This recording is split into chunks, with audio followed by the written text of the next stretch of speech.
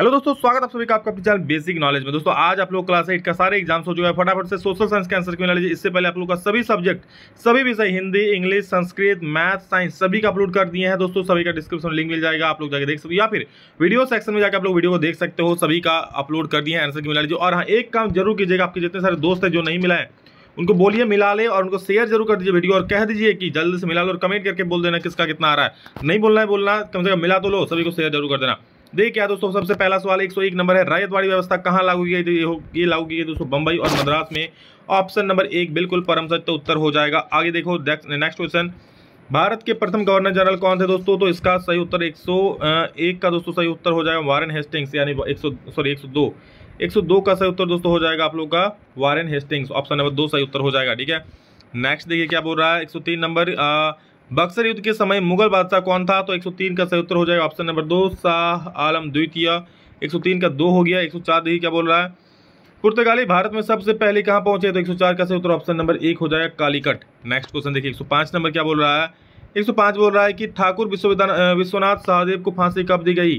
तो दोस्तों इसका सही उत्तर 105 का हो जाएगा ऑप्शन नंबर एक, यानी कि 10 मार्च अठारह अगला सवाल है महात्मा गांधी के राजनीतिक गुरु कौन थे? तो 106 का सही उत्तर हो जाएगा ऑप्शन नंबर एक गोपाल कृष्ण गोखले। गोपाल कृष्ण गोखले, अगला प्रश्न है हम लोग का 107 नंबर नव जागरण का अग्रदूत किसे कहा गया है? तो दोस्तों ये कहा गया है राजा राम मोहन राय को। अगला प्रश्न है हमारा सौ आठ नंबर, झारखंड के पहला हॉकी टीम बनाने का श्रेय किसे जाता है? तो जयपाल सिंह मुंडा 108 का ऑप्शन नंबर चार, बिल्कुल सही उत्तर हो जाएगा। चलो भाई, आगे बढ़ते हैं। 109 नंबर देखो। अठारह सौ ईस्वी के विद्रोह के समय भारत का गवर्नर जनरल कौन थे? तो 109 का सही उत्तर हो जाए ऑप्शन नंबर एक, लॉर्ड कैनिंग। ठीक है 109 का एक हो गया। 110 नंबर देखो। स्वामी विवेकानंद का बचपन का नाम क्या था? नरेंद्र नाथ दत्त बचपन का नाम था उनका। 111 नंबर देखो।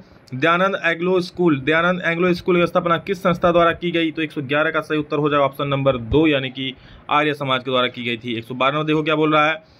नील दर्पण नाटक के रचनाकार कौन है? तो 112 का सही उत्तर ऑप्शन नंबर दो हो जाएगा दीनबंधु मित्र। और 113 नंबर सवाल देखो क्या है? जालियावाला बाग हत्याकांड कब हुआ था? तो 113 का सही उत्तर दोस्तों हो जाएगा क्या?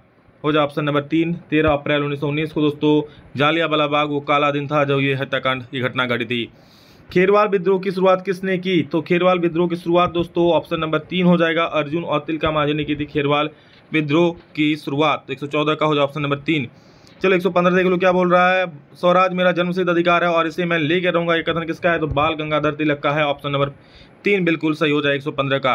116 में देखो क्या बोल रहा है? 116 बोल रहा है कि विधवा पुनर्विवाह कानून, विधवा पुनर्विवाह कानून किसने लागू किया? तो एक सौ सोलह का सही उत्तर ऑप्शन नंबर तीन हो जाएगा लॉर्ड डल हो जी ने एक का तीन सही हो जाए। एक में देखो क्या बोल रहा है कि जयप्रकाश नारायण भारत छोड़ो आंदोलन के समय किस जेल में बंद थे? तो सत्रह का सही उत्तर ऑप्शन नंबर दो होगा, यानी कि हजारीबाग केंद्रीय जेल में। एक सौ अठारह नंबर सवाल, देखो क्या बोल रहा है कि रंगीन छापे के कपड़े तैयार करने वाले कारीगर को क्या कहा जाता था? तो एक सौ अठारह का सही उत्तर ऑप्शन नंबर दो हो जाएगा, छापाकार।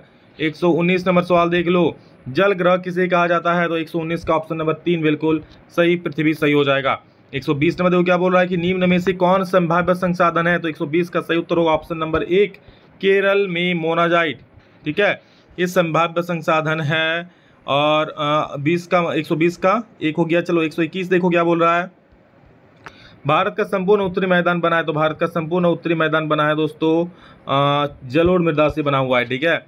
122 में देखो क्या बोल रहा है 122 बोल रहा है, जिन खनिजों को निकालने के लिए गहन कूपों की खुदाई की जाती है, ठीक है, वह है। तो 122 का उत्तर ऑप्शन नंबर चार हो जाएगा, यानी कि कुफनी, कुपनी खनन, ठीक है। कुपो की तो कुपनी खनन हो जाएगा। नोवामुंडी गुआ किरिबुकी आदि किस खनिज के प्रमुख केंद्र है? तो एक सौ तेईस का उत्तर ऑप्शन नंबर चार होगा। लॉयस नोआमुंडी आप लोग का उड़ीसा में है। एक सौ तेईस का हो गया चार, एक सौ चौबीस देखो क्या बोल रहा है कि टिस्को को लोह आयस का आया कहाँ से प्राप्त होता है? टिस्को को लोह आयस कहाँ से प्राप्त होता है? तो 124 का ऑप्शन नंबर दो हो जाएगा सिंहभूम व मयूरभंज से। तो 124 का ऑप्शन नंबर दो सही हो जाएगा। 125 देखो क्या बोल रहा है। विश्व की सर्वाधिक आबादी वाला देश कौन है? तो 125 का सही उत्तर ऑप्शन नंबर एक हो जाएगा, यानी कि चीन सही हो जाएगा। 126 देखो क्या बोल रहा है। निम्न में से कौन सार्वजनिक क्षेत्र के उद्योग से संबंधित है? 126 का सही जवाब हो जाए ऑप्शन नंबर तीन, यानी कि steel authority of India limited एक नंबर देखो क्या बोल रहा है। 127 नंबर रक्षक मेखलाएँ कहाँ लगाई जाती है? तो एक सौ सत्ताइस का ऑप्शन नंबर जो है चार, बिल्कुल सही उत्तर हो जाए पहाड़ी प्रदेश में। एक नंबर देखो क्या बोल रहा है। कि विश्व वन दिवस किस तिथि को मनाया जाता है? तो विश्व वन दिवस दोस्तों 21 मार्च को मनाया जाता है। एक सौ उनतीस नंबर भी देख लो।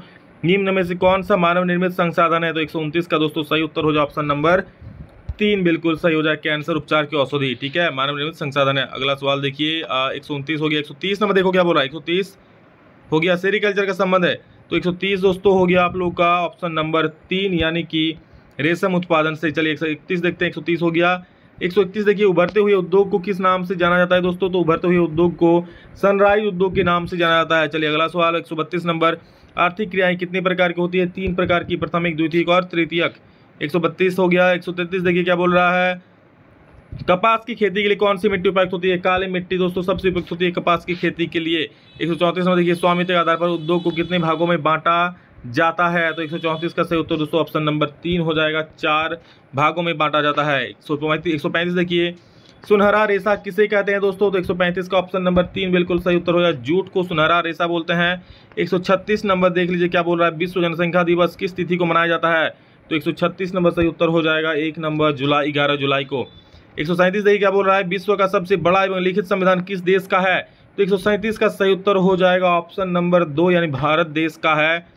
एक सौ अड़तीस देखिए, भारत का विस्मार्क किसे कहा जाता है? तो एक सौ सैंतीस का क्या बोले? हाँ एक सौ सैंतीस का हो गया ना? चलो, एक सौ सैंतीस का हो गया ऑप्शन नंबर दो, भारत। एक सौ सैंतीस, एक सौ अड़तीस देखो क्या बोल रहा है? एक सौ अड़तीस बोल रहा भारत का विस्मार्क किसे कहा जाता है? तो भारत का विस्मार्क दोस्तों, ऑप्शन नंबर तीन, सरदार वल्लभ भाई पटेल को कहा जाता है। भाई रुक ना, कहा ही भाग रहा है इधर उधर एक सौ अड़तीस का हो गया ऑप्शन नंबर तीन। चलिए, बहुत बढ़िया। एक देखिए, मिला लीजिए, क्या बोल रहा है? लोकसभा की बैठक की अध्यक्षता कौन करता है? तो एक का उत्तर ऑप्शन नंबर तीन हो जाएगा। लोकसभा अध्यक्ष ही करेगा, और कौन करेगा भाई? एक सौ चालीस नंबर देखो, क्या बोल रहा है? किसकी स्वीकृति के बाद विधेयक कानून बन जाता है? तो किसकी स्वीकृति के बाद? तो ये आप लोग का राष्ट्रपति की स्वीकृति के बाद, दोस्तों, विधेयक जो होता है, वो कानून आखिरकार बन जाता है। ठीक नेक्स्ट क्वेश्चन देखिए। स्वच्छ भारत अभियान की शुरुआत कब हुई दोस्तों? तो इकतालीस का सही उत्तर दोस्तों आप लोग का हो जाएगा ऑप्शन नंबर तीन, दो अक्टूबर 2014 को। बयालीस नंबर देखिए क्या बोल रहा है? एक सौ बयालीस बोल रहा है। होल फ्लोराइड युक्त पानी से कौन सी समस्या उत्पन्न होती है? तो एक सौ बयालीस का ऑप्शन नंबर एक हो जाएगा कमज़ोर हड्डी। नेक्स्ट एक सौ तियालीस नंबर क्या बोल रहा है? झारखंड की आबादी का कितना प्रतिशत आदिवासी है? तो एक सौ तियालीस का ऑप्शन नंबर हो जाएगा तीन, छब्बीस प्रतिशत। एक सौ चौवालीस भी देख लो।